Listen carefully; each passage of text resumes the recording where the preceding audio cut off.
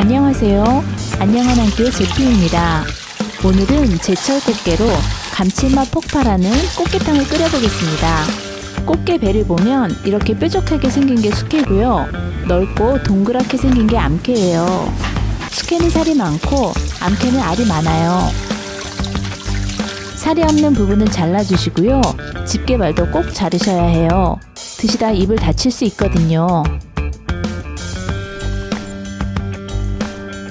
여기가 꽃게 입인데요. 이것도 잘라주세요. 엄지손가락을 넣어 배를 살살 들어 올리면 이렇게 등딱지가 열려요.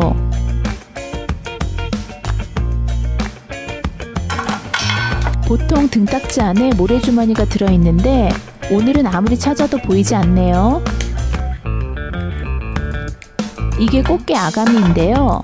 먹지 않는 것이니 이것도 제거해주세요. 영상에서 보일지 모르겠는데 아가미 속에 꽃게가 먹은 작은 새우가 들어있네요. 칼로 자르면 살이 삐져나오니까 가위로 잘라주세요. 등딱지 안에는 맛있는 내장도 들어있고 좋은 성분이 많이 들어있으니까 절대 버리지 마세요. 가을엔 무가 보약이죠. 만난 가을무도 큼직하게 썰어주고 나머지 야채들도 도톰하게 썰어주세요.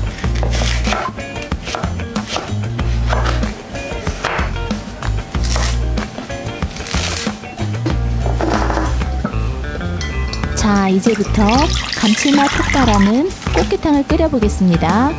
비법은 바로 재료를 넣는 순서에 있답니다. 그러니까 순서를 잘 보세요.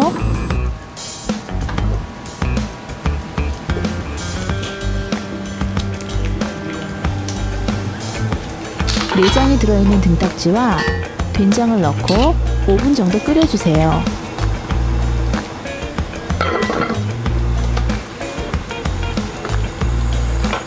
벌써부터 달큰한 꽃게 냄새가 올라오네요. 꽃게를 익히면 붉게 변하는데 이건 아스타잔틴이라는 색소 때문이에요. 강력한 항산화 작용을 한다고 하니까 버리면 안 되겠죠?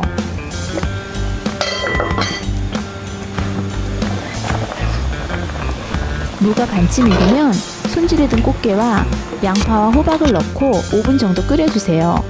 너무 오래 끓이면 살이 맛이 없어진답니다.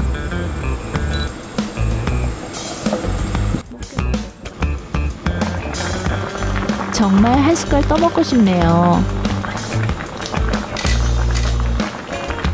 부족한 간은 소금으로 하시고 먹기 직전에 대파 쑥갓을 올려 완성하시면 됩니다.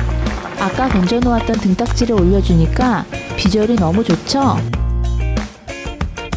감칠맛 폭발하는 꽃게탕이 완성되었습니다.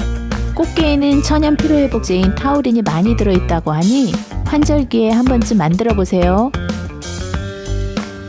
꽃게가 철이라서 음, 너무 달아요.